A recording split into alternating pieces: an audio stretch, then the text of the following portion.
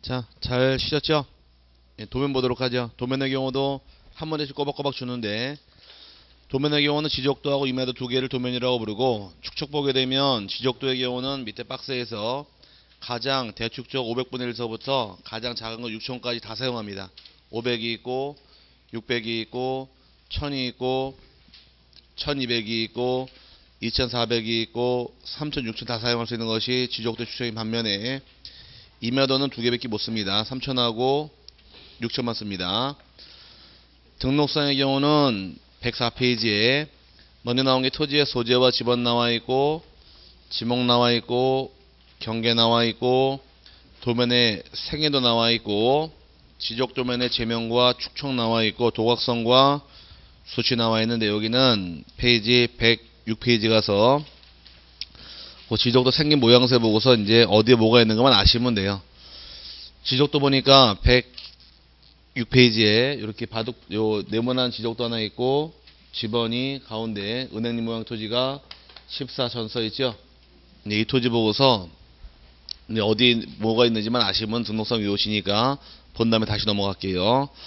맨 꼭대기 보니까 여기 열십자 마- 마크가 표가 있는데 여기 표가 번호가 8, 5, 9, 1, 7 써 있죠.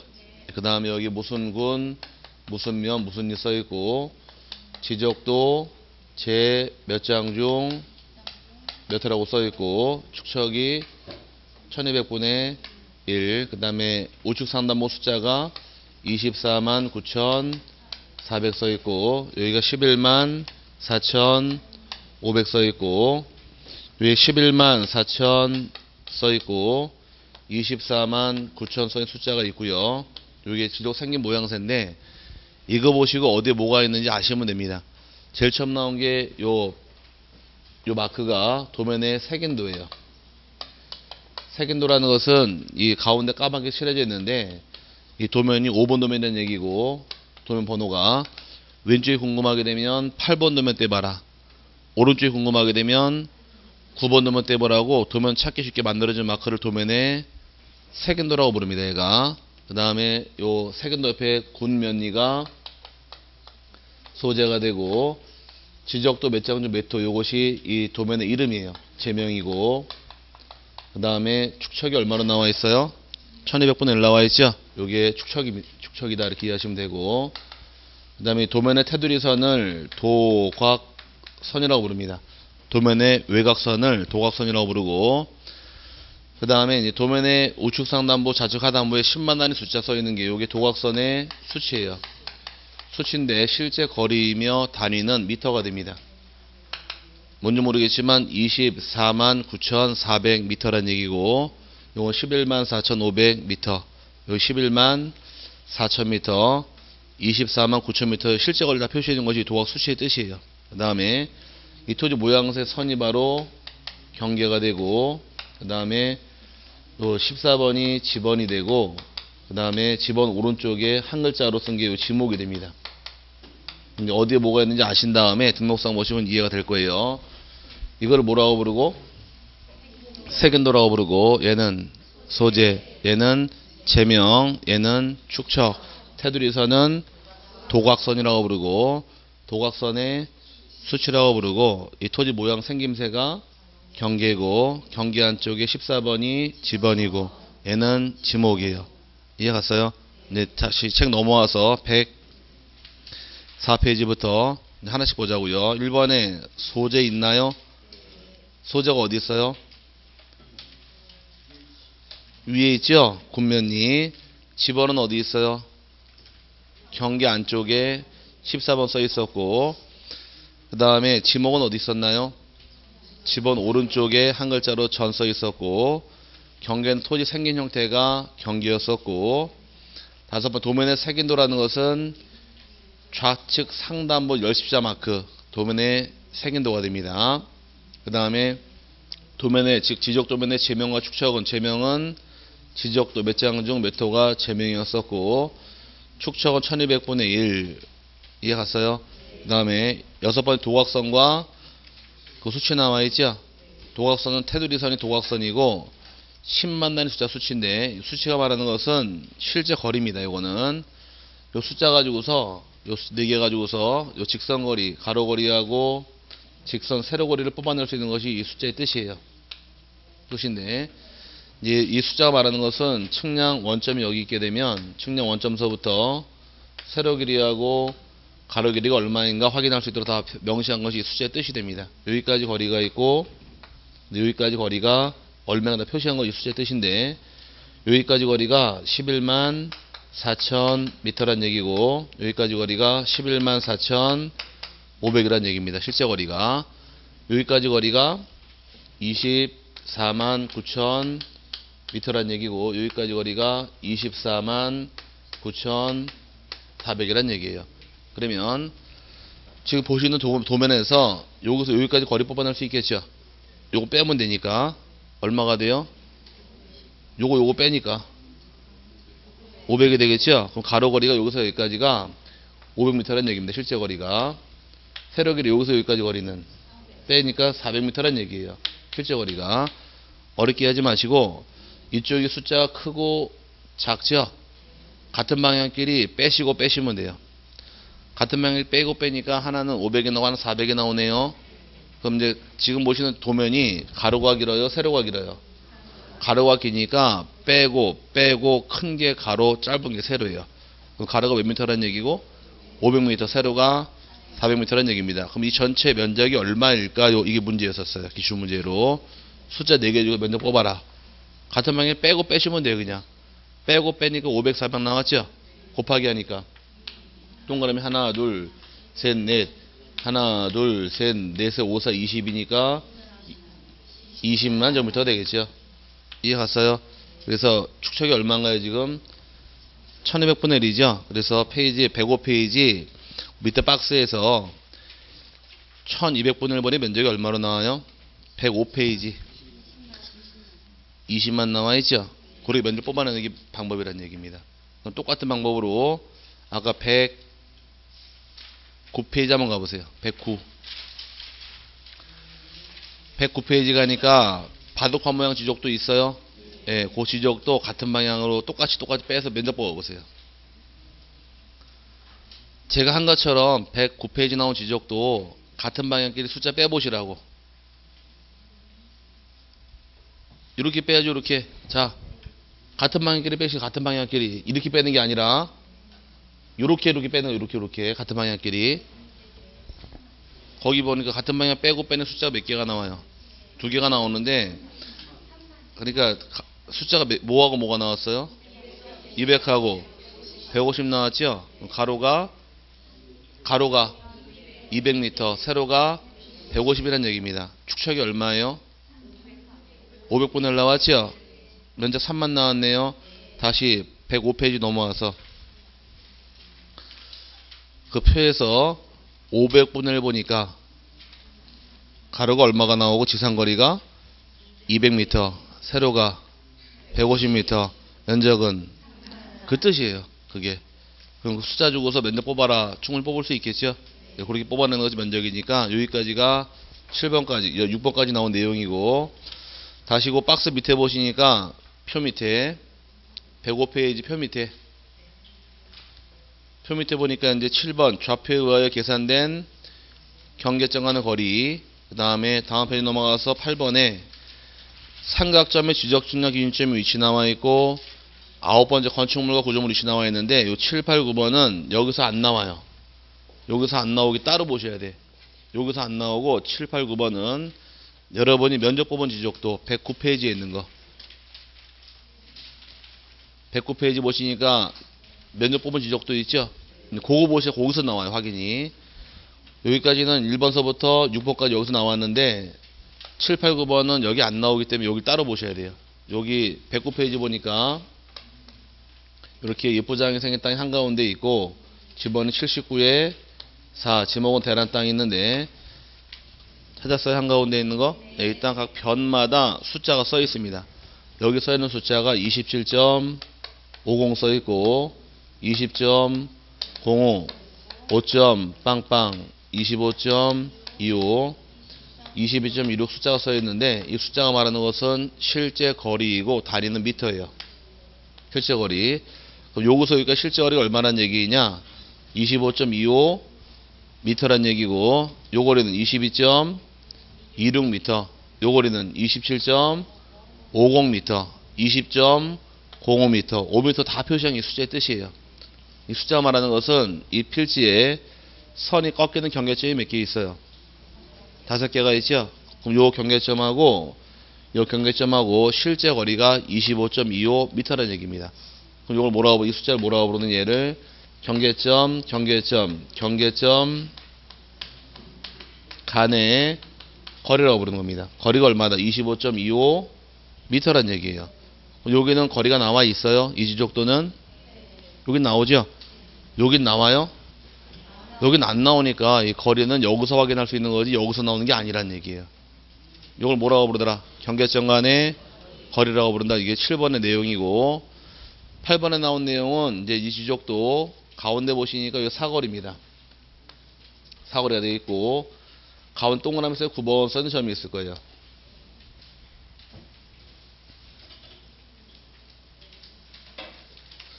순모 그림 찾기죠 지금. 자 찾았어요. 가운데 9번.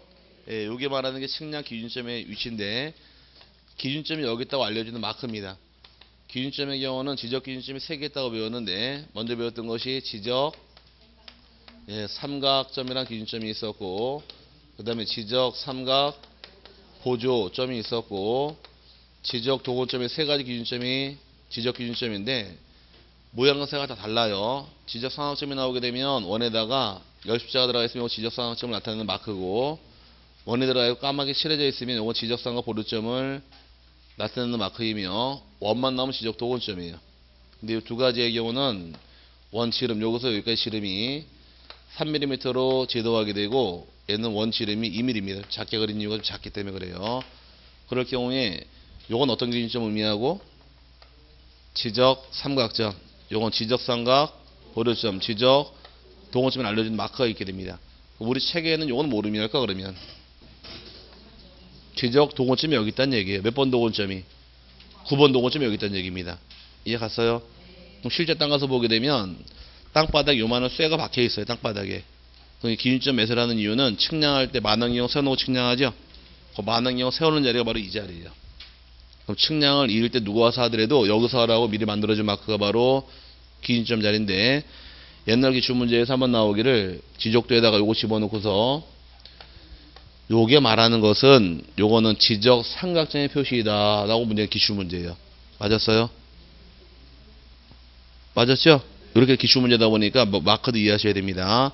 그래서 지금 이렇게 세 가지 나온 것이 기준점이 마크다 이렇게 이해하시고 그 다음에 요게 8번이고 기준점이 얘가 7번이고 마지막 아홉 번째가 뭐가 남았느냐 건축물과 구조물 위치가 남았는데 만약 이 땅 잘생긴 땅 이 안에 건물이 있게 되면 앞으로 건물 위치가 등록이 될 겁니다.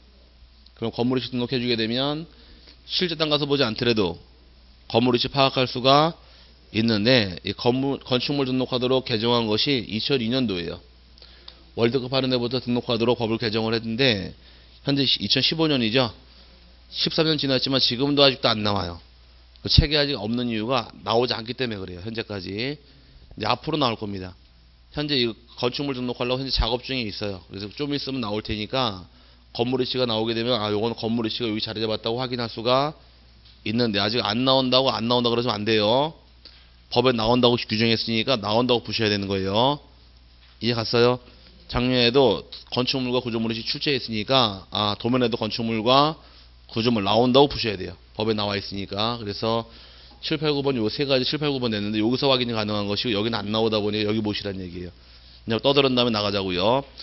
도면 등록사항이 많아요. 이것도. 죽어도 못 외우니까 도면 보시고 뭐가 어디 있는지 아시면 외울 수 있는 거예요. 도면을 눈에 넣어야 돼요. 이거 뭐라고 불러요? 색인도 얘는 소재, 얘는 제명, 얘는 축척, 테두리선은 도각선, 얘는 도각선의 수치, 이 토지 모양새는 경계, 얘는 지번, 얘는 지목이고, 요거는 뭐라고 불러요? 경계점 간의 거리, 요건 기준점의 위치, 건축물의 위치에서 아시면 외워지는 거지 외우려고 하면 끝이 없어요. 그러니까 지적법을 자꾸 암기가 먹이로 말씀하시는데 암기도 뭘 알아야 외워지는 거지 모르면 못 외우니까 지적도를 연상하시면서 아 꼭대기에 있는 게 이게 뭐였었더라 도면에 색인도 그 다음 나왔던 것이 소재가 나왔고 제명이 있었고 축척이 있었고 테두리선이 도각선이었으며 우측 상단부 좌측하도 숫자가 도각선 수치가 있었고 토지 모양새가 경계였었고 경, 경계 안쪽에 지번과 지목이 이렇게 이해하시면 넘어가시면 등록선 외우시는 거예요. 나오면 보너스 문제니까 요거는 그림 이해하시면서 잡아내시면 되고요. 그 다음에 나온 것이 이제 가기 전에 그 106페이지 보시니까 요 지적도 보니까 요 지적도 보니까 여기 보니까 찾았어요? 네, 여기 보니까 여기 산이라고 써 있죠 여기 산 죽겠죠 지금 안에 그냥 한번 읽어주고서 이게 나옵니다 그러면 끝나요 외우든 말든. 근데 그건 공부하는 게 아니니까 이렇게 이행이 빠르기 때문에 그림 그리고 시간 잡아먹는 거예요. 저도 제일 편한 게 뭔지 아세요? 소재 나옵니다 도면에. 집원 나와요 지목 나와요 경계 나와요. 이렇게 축축 외우세요. 그러면 끝이에요 그냥 그것도. 외워 예쁘니까. 그건 그건 그렇게 못 외우니까 이거 연상하시면서 그림 그리라는 얘기예요. 그럼 뭔지 알아지니까. 그 다음에 그 산자 붙은 거 요 산자 붙은 건 모르면 하느냐? 지적도 시행지역은 지적도만 나오고 이마도나 같이 안 나와요 그럼 산이라고 써붙이는 것은 여기는 이마도 시행 지역이에요 그럼 이 부분을 알고 싶으면 뭘 때 보느냐 이마도 때 보는 겁니다 이해 갔어요 반대로 오른쪽 107페이지 이마도 보니까 오른쪽 부분에 산, 일, 임, 산, 이, 임 써있죠? 이마도는 집어넣으면 뭐가 붙어요? 산자가 붙는데 가운데 점선 있고 청주시 사천동 써있고 아무것도 안 나와있죠? 허옇게만 나와죠? 허옇게 나온 데가 지적도 시행지역이에요. 그럼 이마도를 떼게 되면은 지적도 시행지역은 허옇게만 나오지 안 나와요. 거꾸로 지적도를 떼게 되면 이마도는 산으로만 나옵니다. 내가 제가 참 어이가 없는 일한건 제가 알려드릴게. 제가 복덕방을 옛날에 98년도에 처음 시작하면서 강의 시작하면서 투잡으로 같이 중개업을 같이 투잡으로 같이 쭉 해왔는데 그 당시에 지금처럼 뭐 도면이 뭐 전산화돼서 잘 떼주고 막 이게 아니었었고 가 떼와야 돼 가서 떼와 가지고서 한번 떼다가 귀찮아 가지고서 내가 아 이 지역 지적도 시행 지역 이면도시 같이 보려고 그 지역을 지적 때문에 떼왔어요 떼와 가지고서 혼자 이 참 바보 같은 생각에 그때는 이 지적곡 강의 할 때 아니에요. 다른 과목 강의 할 때인데 지적도에서 하얀 부분을 떼내고 산자 붙은 거 떼내고 이면도 떼가지고서 거 떼내고 붙이려고 그걸 같이 볼 수 있으니까 혼자 생각에 아무리 껴도 안 맞아 이게. 왜 이렇게 안 맞지? 이거 그래서 지번이 잘못됐나 그래가지고 봐도 어 맞는데. 그래가지고서 자꾸 껴도 안 맞더라고. 나중에 순간. 아, 우리 직원애가 나한테 사장님 뭐 하세요? 그래서 어 뭐 좀 해. 그러니까 아니 뭐, 뭐 이렇게 열심히 해서 아니 할 게 있어서. 그냥 신나게 하다가 나중에 순간 축척이 틀리구나. 축척이 틀리니까 맞질 않을 거 아니에요. 이 크기가 틀리니까. 그래가지고서 결국은 잘라놓은 걸 다 아이 그래 다 버린 적이 있는데 아니 신나게 잘라고 왜다 버려 그래서 그래가지고 염장을 지르는데 그래서 그랬던 적이 바보 같은 적이 2, 3번 있었는데 어쨌든 간에 잘라도 붙이면 안 맞아요. 축척이 안 맞으니까 그래서 이게 그렇게 나오는 게 내용이다 보니까 과거에 또 기출 문제 나오기를 지적도 집어넣고 산이라고 써놓고서 산으로 나온 지역은 임야도 시행적이다 그러면은 맞는 말이에요. 같이 안 나오는 것이 차이점이다 보니 그렇게 허옇게 나오고 산자가 나오고 나눠지는 겁니다. 그렇게 이해하시면 내용 파악할 수 있고요. 다섯 번째가 경계점 좌표 등록부 경계점 좌표 등록부는 의의가 지적소관청은 도시개발 사업 등에 따라 새로이 지적공부에 등록하는 토지에 대하여 경계점 좌표 등록부를 작성하고 갖춰둬야 한다 해서 개발 사업 등을 시행해야지만 좌표가 만들어지고 개발하지 않은 지역은 좌표가 없습니다. 이 지역은 개발된 지역, 개발 안 된 지역? 개발 안 된 지역이죠. 이런 지역은 좌표가 없어요. 여기는 개발된 땅인가요? 여긴 개, 좌표가 있다는 얘기예요. 개발된 지역은 좌표가 있지만 개발이 안 된 지역은 좌표가 없는 겁니다. 서로 차이가 발생하는 거예요. 그럼 우린 땅, 땅 중에서 좌표가 있는 땅들은 전국토의 5%밖에 안 돼요. 95%는 아직 개발이 안 된 상태입니다. 5%라는 면적은 많아요, 적어요. 제가 볼때 되게 많은데. 5%가 뭐가 많아. 그러지 말고 전국토의 70%가 산 아닌가요?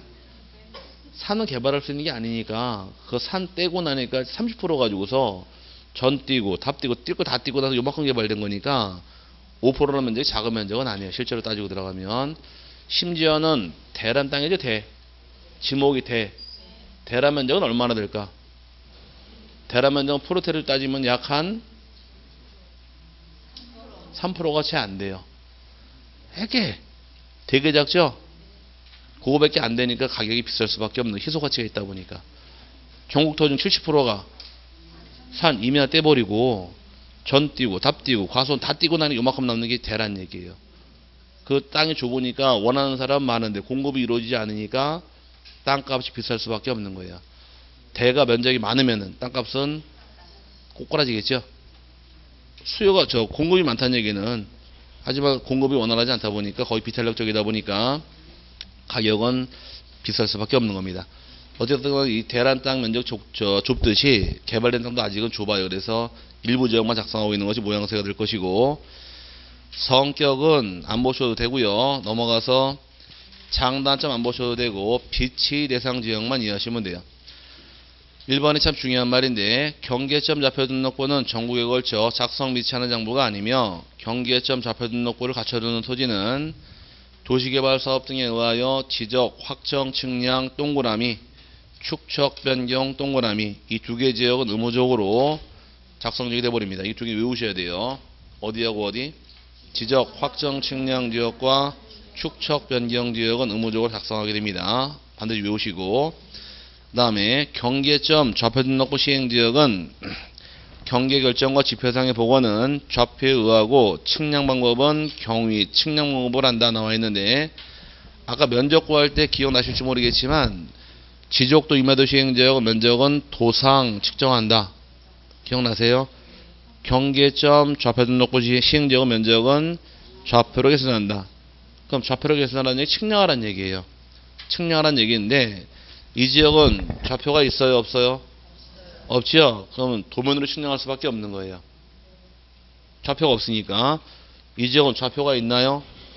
좌표가 있다 보니까 이 지역은 측량을 좌표로 하는 겁니다. 그래서 오른쪽 지적도 보니까 맨 꼭대기에 지적도 써있고 괄호는 뭐라고 써 있어요? 좌표라고 써 있죠. 그럼 좌표가 있다는 얘기는 이 지역은 경계점 좌표 등록부 시행 지역이니까 측량 뭘로 하시고 좌표라는 것이고 도면 맨 밑에 보니까 이 도면에 의하여 측량할 수 없음 못이 박혀 있어요 지금. 차리셨어요? 그럼 이 지역은 좌표가는 지역이니까 측량 뭘로 하시고 좌표로만 하는 거지 도면으로 측량하는 지역이 아니라는 얘기입니다. 그럼 요거랑 비교 한번 해보자고요. 여기는 이 지적도는 측량할 수 없단 말이 없었죠? 그럼 요거 측량하는 지적도예요. 요 측량하는 지적도가 되겠지만 이 지역은 좌표가는 지역은 여기 못을 박아버렸네. 측량할 수 없다고 이 도면을 측량하는 도면이 아니라 여러분 보라고 만들어준 거지 측량은 무- 무조건 다 좌표라는 겁니다. 그래서 경계결정 지표상 복원 전부 다 측량하는 얘기인데 측량은 좌표로 만 하는 거지 지적도로 측량할 수 없게 돼 있어요. 아니 못을 박아버린 겁니다. 지적도로 측량하지 말라고. 그 다음에 3번과 4번은 안 보셔도 됩니다. 거기까지 보시면 큰 무리가 없고. 등록사항은 토지의 소재와 지번이 나올 것이고 XY 좌표가 나오며 고유번호가 나와요. 고유번호가 어디에 안 나온다고 배웠어요? 도면 빼고 나오는 고유번호 나올 것이고 지적도면 번호 나올 것이며 장번호하고 부호 및 보호도가 나오는데 지금 떠드는 내용은 110페이지 가시게 되면 양식이 있습니다.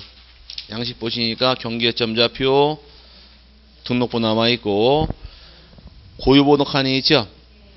고유번호 몇 자리 총 19자리 번호인데 여기는 11번째 숫자가 뭐가 될까? 3이 되겠죠 3. 그 다음에 토지의 소재 나와 있고 집원 나와 있고 도면 번호 칸이 있고 장번호 칸이 있고 비고 칸이 있으며 부호도하고 부호하고 XY 좌표 칸이 만들어집니다. 거기 보니까 부호도라는 것은 토지 생긴 모양새예요. 지금 생긴 모양새가 사각형인가요? 그럼 사각형을 끼워 요거는 좌표 몇 개 찍으면 돼요? 4개 찍으면 되니까 1번 점, 2번 점, 3번 점, 4번 점에서 좌표가 4개가 나온 겁니다. 이해 갔어요? 그럼 선이 꺾이는 점은 다른 말로 뭐라고 부르고? 선이 꺾이는 점, 경계점. 이 경계점을 뭐로 등록했어요? 좌표로 해서 경계점 좌표 등록부가 만들어진 겁니다. 이렇게 해서 말 이해하시면 등록사항이 끝났는데 주로 등록사항은 주로 내는 데가 정해져 있어요. 대장하고 도면이에요. 거기 매매 내고 여긴 잘 안 내니까 양식 보시고 뭔지만 눈으로 이해하시기 바랍니다. 다음 넘어가시게 되면 지적공의 보관 및 반출 나오는데 지적 공부의 경우는 먼저 보관해서 1번이 큰 제목이 지적 공부가 나와 있고 2번이 전산 정보 처리 시스템 나와 있죠. 나누자고요. 지적 공부의 경우는 아까 총 몇 개가 있느냐? 8개가 만들어지는데 지적 공부에서 대장이 몇 개 있나요?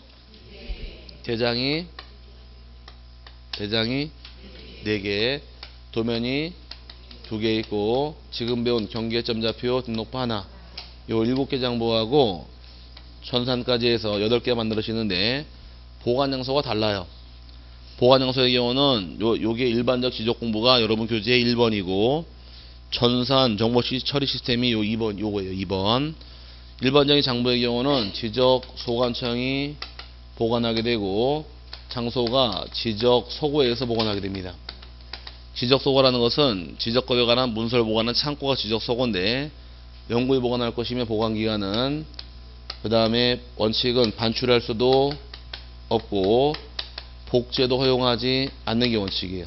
그럼 일반적인 장부들은 어디서 보관하시고 지적 소관청에 설치된 지적 소고에서 보관하시되 영구히 보관할 것이며 반출도 안 되고 복제도 할 수가 없다가 됩니다. 하지만 전산의 경우 보관 장소는 시도지사하고 시장군수 구청장이 보관을 하되 장소는 지적 정보 관리 체계에서 보관을 하시되 기간은 영구히 보관하며 반출하지 못해요.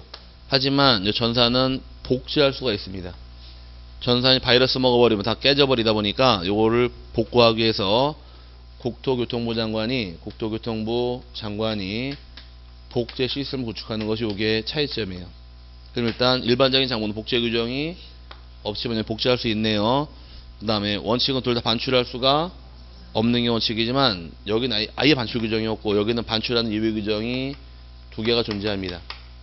있는 규정이 첫 번째가 천재 지변 등 사변에 개입된 경우 책에 있으니까 줄쳐드릴게요. 열심히 쓰지 마시고 책에다 있는 거니까 쓸 필요 없고 체크만 하시면 돼 찾아서 천재 지변 등 사변에 개입된 경우하고 또 하나가 시도지사나 또는 대도시 시장에 승인을 받으면 반출할 수 있는 것이 반출 사유가 됩니다. 하지만 일반적인 장부는 반출 규정이 이외로 존재한다 할지라도 전사는 아예 반출 규정이 없어요. 책 들어가시게 되면 이제 일반적인 지적 공부의 경우는 어디서 보관하실 것? 소관청이 시군구의 지적 소고에서 보관할 것이며 영구히 보관하시고 반출할 수 없는 게 원칙이더라. 다만은 생략하고 부식 안 보셔도 되고요. 이번 전산 정보 처리 시스템의 경우는 보관 장소가 시도지사와 시장 군수 구청장에 보관하되 장소는 지적 정보 관리 체계에서 영구히 보존하시더라. 다르셨나요? 하지만 일반적인 장부 복제 의존이 없지만 이번에 국토교통부 장관은 보존해야 하는 지적 공부가 멸실되거나 훼손되거나 될 경우 대비해서 지적 공모를 복제하여 관리하는 정보 관리 체계를 구축해야 한다 해서 복제는 전산만 복제하게 됩니다. 백업 파일을 따로 만들어 놔요. 오른쪽에 반출은 원칙은 둘 다 금지가 되겠지만 반출할 수 있는 예외 규정은 일반적인 장부만 반출이 가능한데 크게 두 가지 이유가 있더라. 하나는 천재 지변 등 사변에 개입된 경우와 또 하나는 시도지사 또는 대도시 시장에 승인받은 반출할 수가 있다 해서 두 가지가 반출이 가능한 케이스입니다. 여기는 잘 내진 않으니 간단히 의미만 좀 파악하시면 되고요. 세 번째가 지적 정보 전담 관리기구 21회 때 기출한 적이 있는데 국토교통부 장관은 지적 공부 효율적인 관리와 활용을 위하여 설치한 기구가 지적 정보 전담 관리기구입니다. 설치권자가 누구입니까? 이게 기출문제예요. 답은 국토 교통부 장관 설치를 하게 돼 있고 이 기구를 설치하기 위해서 국장은 해당 공공기관에게 자료를 요청할 수가 있는데 요청할 자료가 네 가지가 있습니다. 이번에 끝부분에 보니까 기억번에 주민등록 전산자료 두 번째가 가족관계 등록 전산 자료, 세 번째가 부동산 등기 전산 자료, 네 번째가 공시, 지가 전산 자료에서 요 네 개 자료를 요청할 수 있고 요청받은 공공기관 장들은 부득이한 사유가 없는 한 제공을 하는 것이 의무 규정이에요. 이때 요청할 자료가 아닌 것은 물어볼 수 있으니까 그 네 개 자료 줄쳐놓고 넘어가시고 그 다음에 내려와서 부동산 종합공부인데 이 종합공부가 작년부터 시행을 하다 보니까 작년에 두 문제를 빼버립니다. 여기서만 지적소관청이 부동산 효율적 이용과 부동산과 관련된 정보를 종합적 관리 운영을 위하여 작성 시작하는 장부가 바로 부동산 종합 공부예요. 이 종합 공부라는 장부는 토지와 건물에 관계된 장부가 구청 가시면 18가지가 있는데 다 모아놓은 겁니다. 뭐 앞으로 토지대장 지적도 한 통 한 통 뜰 필요가 없이 이거 하나만 딱 떼치게 되면 모든 사항 다 확인할 수 있어요. 좋아진 거예요? 나빠진 거예요? 예? 나빠진 거라 그랬죠? 공부할 게 늘어나니까 원래 좋아진 건 아닙니다. 그러면 이 작성권자가 누구래요? 지적소관청이죠? 위- 구별하셔야 돼. 위에 나와 있는 지적정보 전담 관리기구 설치권자는 국토부 장관이고 이 종합공무는 지적소관청입니다. 이 지적소관청이 지적 부동산 종합공부를 또 소관청에 연구히 보관하게 돼 있고 현재 전산화되어 있다 보니까 복제해놔요. 뭐 가- 같이 보시면 될, 거, 어, 될 부분이고 넘어가시면 이 등록할 사항이 크게 네 가지가 있다 보니까 거기서 한 문제가 출제한 것이 기출 문제인데 뭐 등록상 네 가지는 기억하셔야 돼요. 작년에 두 개를 냈는데 올해 또 낼까요? 낼 겁니다 아마 또날 테니까 먼저 첫 번째가 토지 표시와 소유자 관한 사항 나오더라. 토지 표시와 소유자에 관한 사항은 지적 공모 내용을 토대로 등록하게 되고 두 번째 건축물 표시와 소유자에 관한 사항은 건축물 대장 내용대로 등록을 해줍니다. 그 다음에 부동산 가격에 관한 사항은 아, 세 번째부터 봐야죠. 토지 이용 및 규제에 관한 사항은 토지 이용 계획 확인서라는 서류가 있어요. 보신 적 있나요? 예, 계획 확인서를 보게 되면은 용도 지역, 또는 건폐율, 용적률 다 나옵니다. 이걸 다 모아놓은 거예요.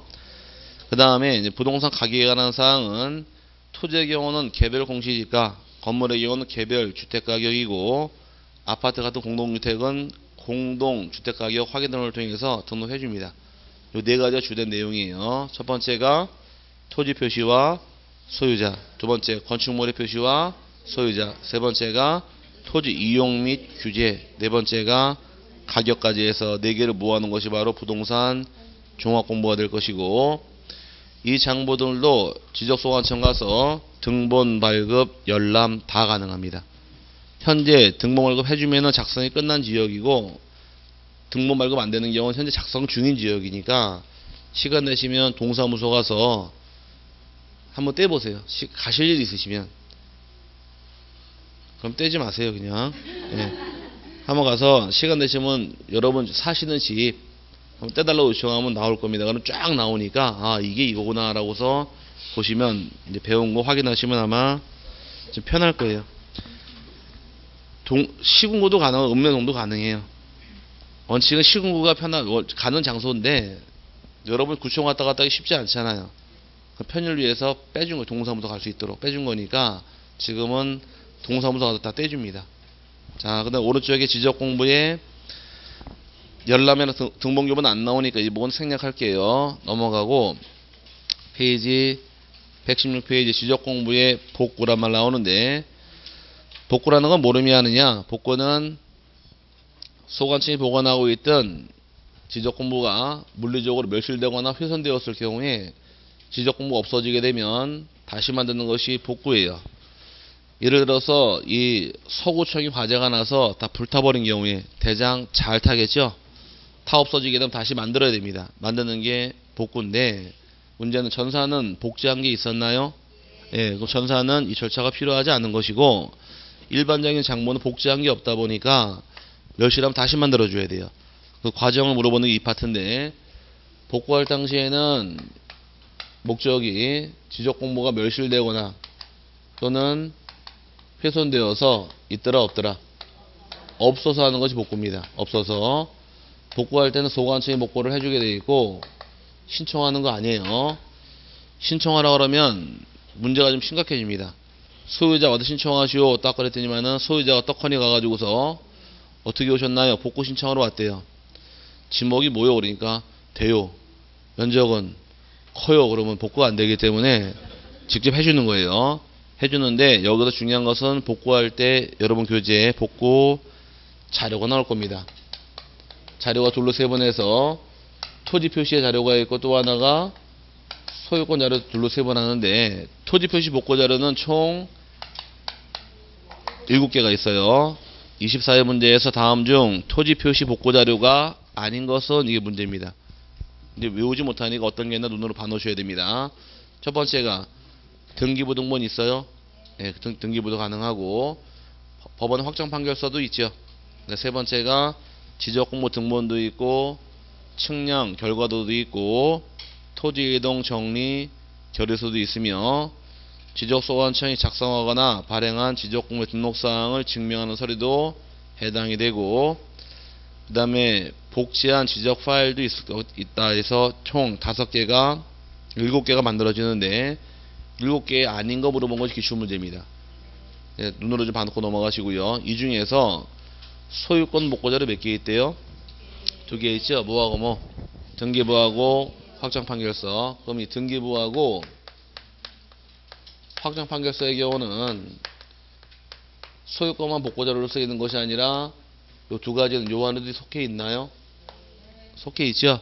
그래서 일곱 개 박스 집어넣은 다음에 이 중에서 소유권 복구자료로 같이 쓰이는 거 몇 개인가 물어보면 답은 두 개예요. 등기부하고 확정 판결서 이두 개는 둘 다 쓰이는 거니까 주의하시고 이런 자를 다 누가 조사하실 것?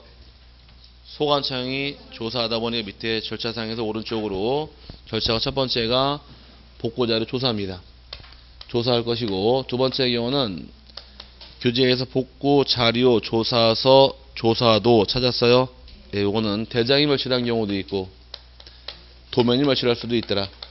대장이 멸실한 경우는 복구 자료 조사 서 작성하게 되고 도면이 멸실한 경우는 복구 자료 조사도를 작성하게 됩니다.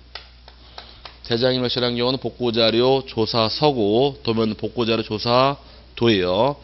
작성하게 되어 있는데 이 작성 예, 복구를 조사하다가 또 세 번째 규정 보니까 복구할 때 측량하는 경우도 있더라고요. 그럼 복구할 때 측량하는 경우 세 번째인데 복구 측량하는 경우는 무조건 측량하는 것이 아니라 읽어보게 되면 복구 측량에서 작성된 복구 자료도에 따라 측정한 면적과 지적 복구 자료 조사서에 조사된 면적의 증감이 허용 범위를 초과하거나 복구 자료도를 작성할 복구 자료가 없는 경우에는 복구 측량을 하여야 한다. 찾으셨어요? 그럼 이제 지금 자료가 처음부터 존재하지 않는다거나 지금 나온 말이 허용 오차를 초과한단 말이 나왔습니다. 오차 초과란 말은 면적이 아까 일치라고 배워서 불일치라고 배웠어요. 불일치하는 거죠. 그럼 자료도 없고 면적도 일치하지 않으니까 측량하라는 얘기예요. 그럼 반대로 밑에 허용 오차 이내의 경우는 오차 이내가 나오면 이때 일치하나요? 일치할 때는 측량 실시하지 않고 조사 면적 등록 해주면 되는 거예요. 그럼 측량은 반드시 하는 것이 아니라 언제만 측량하느냐?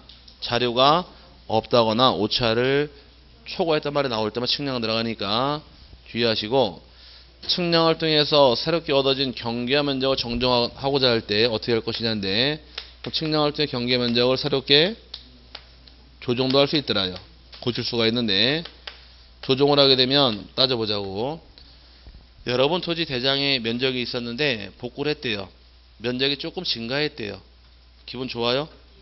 가만히 계시겠죠? 눈만 껌뻑껌뻑하고서 네, 가만히 계실 텐데 면적이 감소가 됐대요.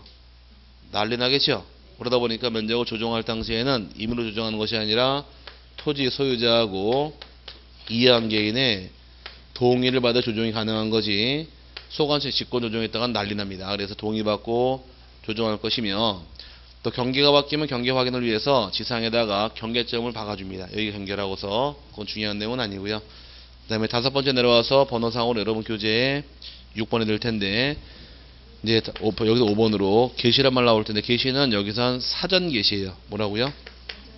사전 게시. 게시를 하긴 게시하는데 복구할 걸 미리 게시해 줍니다. 게시하는 사항은 복구하고자 할 사항, 복구하고자 할 사항을 시군구 게시판이랑 인터넷 홈페이지에 15일 이상을 게시하는 것이 의무 규정이에요. 게시를 하긴 하지만 복구 끝나기 전에 게시하는 거지 복구 끝난 후에 게시하는 거 아니에요. 이거 아주 옛날 얘기인데 96년도까지는 복구 끝난 이후에 게시했습니다. 복구한 이후에 게시하다 보니까 자꾸 문제가 생겨요. 여러분 토지 지목이 되었었는데 지목 잡종지로 바뀌어 있더라. 가만히 계실래요? 난리 나겠죠? 그러니까 와서 뒤집지 말고 이렇게 복구할 테니까 볼만 있으면 이의 신청해라요. 이의를 받기 위해서 미리 게시하는 겁니다. 단 복구 할 거예요. 복구 한 거예요. 할 걸 미리 게시하는 거예요. 할 거라 잡아 놓으시고 그 다음에 여섯 번째는 게시 기간 내 신청이 들어갑니다. 불만 있는 자들은 신청을 하게 되면 신청을 해결해 준 다음에 복구해 주면 될 텐데 일곱 번째 복구한다는 얘기는 다시 만드는 게 복구입니다. 그럼 대장과 도면 나눠서 대장은 반드시 복구하느냐? 얘는 예외 없습니다. 반드시 복구해야 돼요. 도면의 경우는 원칙은 복구하는 게 원칙이지만 단 복구하지 않는 예외 규정이 두 개가 빠지는데 하나는 대장이 복구되고 도면이 복구되지 않은 토지가 축척 변경 시행 지역에 편입이 된다거나 도시개발 사업 시행 지역에 편입되는 경우는 이 두 가지 시행 지역이 편입되는 경우는 도면을 복구하지 아니할 수 있다는 단서가 붙어 있습니다. 이거 외울 건 아니고 상황만 이해하시면 돼요. 아까 좀 전에 배우시기를 경계점 좌표 등록부 시행 지역은 두 개는 외우시라 그랬습니다. 어디하고 어디? 지적, 확정, 측량 지역과 또 하나 축척, 변경 대상 지역은 의무적으로 작성하실 것. 그럼 지적, 확정, 측량 지역이 도시개발 사업 시행 지역이고 그 다음에 또 하나 축척 변경이죠. 이 두 개 지역은 뭘 만드느냐? 앞으로 경계점, 좌표, 등록부 시행지역 돼버립니다. 그럼 이 지역 지적도 축척은 가장 큰 축척 500분의 1을 새로 만드니까 옛날 놈은 필요하지 않다가 되어서 만들 필요 없도록 빠져나가는데 요거 그렇게 중요한 내용은 아니에요. 중요한 것은 요걸 잡아내셔야 돼요. 복구를 왜 하는가 이해하셔야 돼 먼저. 복구를 왜 해요? 이유부터 알아 답이 나와요. 항상 이걸 잡아내셔야 돼. 그래 답이 떨어져요. 복구 왜 해요? 멸실해서 있다 없다. 없을 때 옛날 상황을 조사해라요. 조사하다 조사가 안 될 경우는 자료가 없는 경우는 측량해라요. 측량하고 또 토지 표시 사항을 저, 곧 저, 잡아주기 위해서 불만 생길 수가 있잖아요. 미리 게시해라요. 이의 받아준다 다시 만들고 순서만 기억하시면 답이 나오니까 먼저 왜 하는 것부터 이해하시고 들어오시길 바라고 여기는 매회 내진 않아요. 가끔 출제하는데 24회 나오고 25회 안 나왔으니까 올해 26회죠. 건들 수도 있어요. 나중에 기출문제 찾아서 보신다거나 다운받아 풀어보시게 되면 매번 내는데 매번 내요. 매년 매년 내게 돼 있어요. 근데 해거리로 나온 데가 있어요. 그거는 돌아가면서 나오는 것들은 한 번씩 돌아가면 내다 보니까 대충 주기를 잡아내시면 돼요. 그럼 뭐가 나올지 감 잡을 수 있으니까 지금은 아직 문제 풀을 때는 아니고 7월 달쯤 가가지고서 아니면 8월 달쯤 가서 실력 좀 올라간 다음에 그때 가서 제가 권한을 저 권고해 드려요. 권고 사항으로 웬만한 동영상 사이트 들어가시면 기출 문제 다떠 있거든요. 있거든요, 다. 네, 그거를 동영상 사이트 그냥 네이버 들어가서 중개사 기출 문제 지금 다 나와요. 어떤 카페만 다 있으니까. 중개사 카페 가입한 거 없어요? 어디든지 하나 찾아서 가입해 보시라고. 그러면 자료가 많이 올라가 있으니까 그거 다운받으시면 쭉 매 회별로 나온 게 있으니까 그걸 한번 쭉 풀어보시면은 아하 여기 어서 문제가 나오는지 감을 잡아요. 그러니까 지금은 문제 감 잡을 때가 아니고 열심히 들, 듣고 잊어먹을 때니까 듣고 잊어먹고 듣고 좀 반복하시다가 나중에 실력 좀 좋아지시거든 그때 나중에 기출 문제 쭉 다운받아 보시면 대충 뭐가 나올지 감이 잡혀요. 격언도 있습니다. 기출 문제는 또 나온다. 또 나오는데 답은 똑같이 한번 살짝 돌려놔요. 똑, 똑같이 나오다 보니까 결국은 공부하신 분이 다 잡아내는 거예요. 지금부터 문제 답 외우면은 답 잡아낼 것 같죠? 답이 바뀌거든. 그러니까 답 외워서는 공부가 안 되고 답 되는 과정, 과정을 알아야 돼요. 그때까지 참으실 부분이고 듣다 보니까 자꾸 까먹죠? 네, 사람이니까 그래요. 사람이니까 까먹게 돼 있고 안 까먹으면 사람이 아니죠. 머리 터집니다. 근데 지금 계속 잊어먹고 까먹고 반복하다가 10월달 가서 안 잊어먹으면 돼요. 그 다음에 118페이지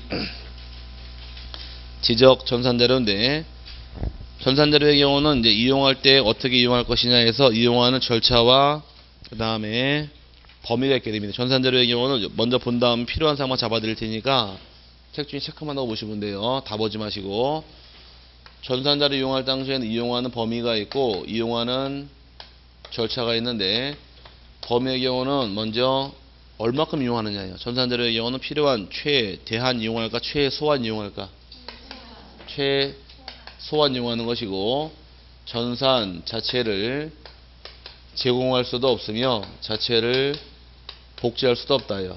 이 말 뜻은 제공을 해주긴 해주겠지만 필요한 만큼 이상 주지 않겠다는 것이 범위상으로 최소한이니까 최대한 그럼 틀려요. 이용할 때 과정상의 차이점은 절차는 먼저 심사를 받아야 되고 심사 후에는 승인받는 게 절차입니다. 이제 심사권자가 누구입니까? 이게 기출 문제예요. 심사권자는 관계, 중앙, 행정, 기관 심사 받는데 관계, 중앙, 행정기관 또 누구를 의미하느냐? 공복 공부할 때 국토부 장관이 어떤 계획을 입안하고자 할 때는 관계, 중앙, 행정, 기관, 장과 협의해라. 이런 말 들어본 적 있어요? 그럼 국토부 장관과 협의했다는 얘기는 동등한 입장, 상하의 입장. 동등한 거죠. 그럼 관계, 중앙 행정기관은 각 부처 장관을 의미하는 거예요. 심사받고 승인받으러 오는데 승인받을 당시에는 전국 단위 이용할 때가 있고 네, 시도단 이용할 때가 있고 시군구단 이용할 때가 있더라. 시군구단 이용할 당시에는 이때는 지적소관청 승인받고 이용할 수가 있고 시도단의 경우는 시도지사하고 그 다음에 또는 지적소관청 승인받고 이용할 수가 있으며 전국 단위의 경우는 국토교통부 장관 그 다음에 시 도지사 그 다음에 또는 지적소관청 승인받고 이용할 수가 있다라고 해서 승인권자가 올라갈수록 늘어나기 시작해요. 2012년까지는 얘가 없었습니다. 얘가 없다가 이제 추가가 돼버린 거예요. 추가시킨 이유는 외울 건 아니고 여러분의 편의를 위해서 봐준 거예요. 쉽게 얘기해서 취득세 과세권자가 누구예요? 취득세, 취득세 과세권자. 취득세 과세권자. 옛날에 이렇게 강의했잖아요. 부동산을 취득하고 보유하다가 팔아먹더라. 이제 부동산 일대기 아니에요? 다 세사세요? 사서 갖고 있다가 팔아먹잖아요. 취득할 때 납부하는 세금, 취득세, 보유할 때 납부하는 세금, 재산세, 팔아먹더라, 양도소득세 이 세 개의 세금 중에서 세율이 가장 높고 가장 세금이 많은 것은 양도세죠. 단계 차이가 막 60% 때려버리니까 아닌가? 맞죠? 세율이 가장 세고 세금 가장 많은 것이 양도세예요. 양도세는 가장 세게 크죠? 국가가 가져간 돈이에요. 그 다음 큰 돈은 취득세가 커요? 재산세가 커요? 그건 시도지사가 가져가는 세금. 재산세는 가장 작잖아요. 여기 시군 국세가 되는 거예요. 이렇게 하시면 과세권자 눈이 안 헷갈릴 거 아니에요. 알아서 외우시는데 그러면 취득세 누가 과세한다고요? 시도지사죠. 그럼 거기서 누가 발부하는 게 원칙이냐? 대전시장이 발부하는 거예요. 오케이? 과세권자 시도지사니까. 근데 문제는 현재 취득세 과세 저 고지서 누가 발부해 주느냐? 구청이 해줘요. 구청이 구청과 고지서 받아가 내면은 그 돈은 대전시로 다 들어가는 거예요. 그럼 여러분이 자동차 등록하더라 취득세 내야 되죠? 고지서 받아 대전시청 가까우니 별 문제 없겠지만 저 멀리 사는 사람은 유성구 사는 사람은 여기까지 왔다 갈라 그러면 뭐니까 세금은 어차피 내도 대전시로 다 들어가니 고지서만큼만은 거기서 받으란 얘기예요. 쉽게 얘기해서 납세 편을 위해서 그럼 대전까지 올 필요가 없고 아까 지적공모 등본 원칙은 시군구가 떼는 게 원칙이지만 읍면동도 인정해주겠다 그랬잖아요. 여러분 편의를 위해서 그러다 보니까 옛날에는 이게 없을 당시에는 여러분 전국에 필요하더 어디 갔다 와야 돼요? 국토부 찾아갔다 와야 돼요. 이게 편하냐? 어차피 여기가 승인받아도 다 전산대로 있잖아요. 온라인 돼 있으니까. 이게 편하지 않나요? 그럼 이용하는 데 편의를 위해서 이걸 합쳐버린 게 넣어준 거예요. 그럼 범위만큼만 가서 승인 받으면 이해해주 인정해 주겠다 그래서 따라 붙은 거니까 이렇게 이해하시면 왜 여기까지 올라가면서 늘어나는지 이해할 수가 있게 될 것이고 이게 기본 취지입니다. 그럼 이용하는 범위 어, 절차는 심사 후 승인이죠. 그럼 심사할 사항이 몇 가지가 있느냐? 세 가지 책을 줄쳐 드릴게요. 아, 줄치지 마시고 뭐가 중요한지는 알고 봐야 될 거 아니에요, 여기선. 자, 이용하는 절차는 먼저 심사하는 범위가 자료 사용 목적에 대해서 타당성에 대해서 심사할 것이고 그 다음에 적합성하고 공익성을 따져봅니다. 두 번째가 개인의 사생활을 침해할 수 있다 보니까 사생활 침해 여부하고 그래서 자료의 사용 목적의 사용 방지 및 안전 대책을 심사하는 것 심사 방, 뭐, 범위가 됩니다. 뭐 심사받고 승인 가는 게 원칙인데 문제가 생기는 것은 심사 승인 중에서 심사만 면제가 있어요. 그럼 심사 받을 필요 없다는 얘기죠. 승인은 받으란 얘기예요. 심사 면제가 일단 심사권자가 누군가요? 관계 중앙행정기관이죠. 본인이 본인 심사 받을까요? 그건 아닐 테니까 관계 중앙행정기관이랑 소속되어 있는 기관장들은 심사가 면제가 되고 그 다음에 또 하나가 해당 지자체가 승인 신청할 때도 심사 규정 면제입니다.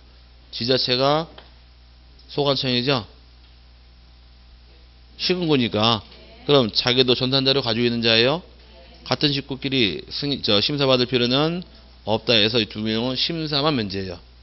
또 중요한 것은 이제 작년에 개정되면서 추가된 규정이 그럼 이 두 명은 심사만 면제가 됐는데 반대로 심사와 승인 둘 다 면제가 있다 보니까 여기 또 문제가 되는 겁니다.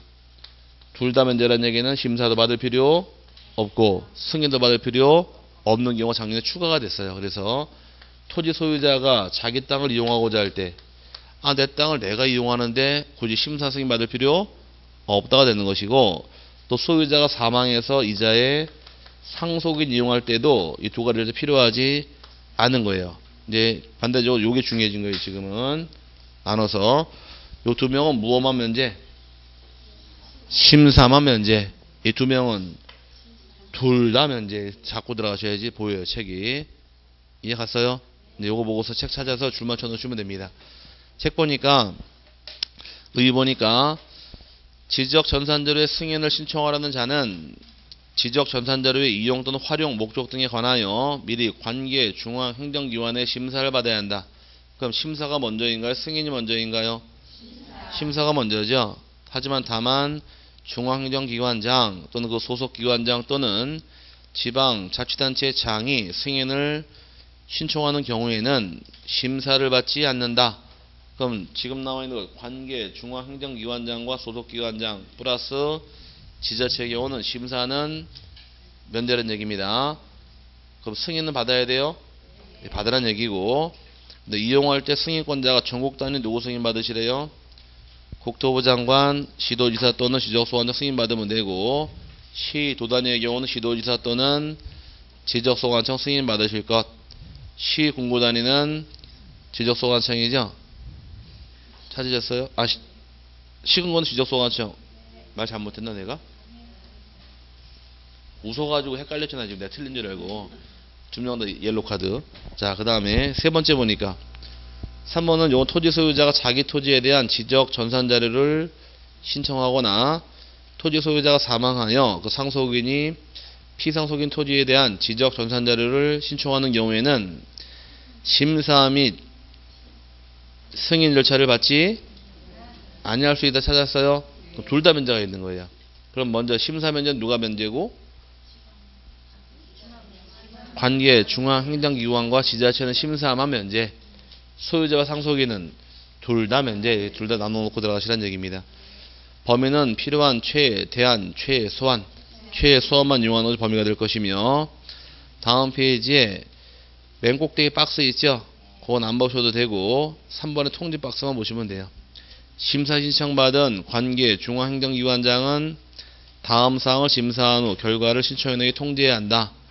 신청 내용에 대해서 타당성, 적합성, 공익성과 개인의 사생활 침해 여부, 자료 사용 목적의 사용 방지 및 안전 대책을 심사하게 됩니다. 4번은 같은 말 뜻인데 그럼 심사 받으면 어디로 가야 돼요? 승인 받으러 가야 되죠? 그럼 지적 전산 자료 이용 또는 활용 목적에 관하여 승인을 받으려는 자는 승인 신청할 때 심사 결과를 제출해야 한다. 다만 중앙행정기관장이 승인을 신청하는 경우에는 심사 결과를 제출하지 않을 수 있다. 왜? 심사가 면제니까. 풀고 들어가시면 되고요. 이제 심사 받는 사항은 생략하겠습니다. 사용료의 경우도 요거를 이해하자고요. 사용료의 경우도 국토부 장관이 제공하더라. 국가단체니까 수입 인지가 되고 나머지 수입 증지예요. 우표삭제 모양의 표가 있는데 수입 인지가 있고 증지가 있게 됩니다. 인지는 국세, 증지가 지방세예요. 그럼 주민등록 등본 들 경우는 수입 증지를 사게 되고 여권 만들 때는 수입 인지를 내는 거예요. 국가가 만들어 주니까 그렇게 이해하시면 될, 될 텐데 지금은 상대적으로 요게 중요해졌어요. 지금은 이건 뭐 크게 문제될 부분은 없고 요거 잡아 놓으셔야 돼요. 노랑 색깔은 모아 면제, 심사만 면제, 빨강 색깔은 둘 다 면제해서 두 나눠서 절차상 빠지는 것들을 특색이 있으니까 잡아놓고 넘어가시면 됩니다. 여기까지가 지적공업 파트고 그 다음에 넘어가시게 되면 페이지가 130페이지에 토지 이동 지적 정리 파트는 또 잠깐 쉬었다가 다시 돌아와서 다시 보도록 하지요.